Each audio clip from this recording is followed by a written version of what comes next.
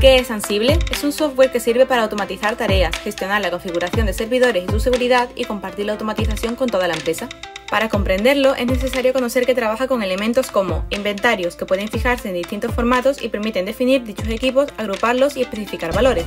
Comandos ad hoc que usan una línea de comando concreta para mecanizar una única tarea en uno o más nodos administrados. Playbooks, estos son el lenguaje de configuración, implementación y orquestación de Ansible.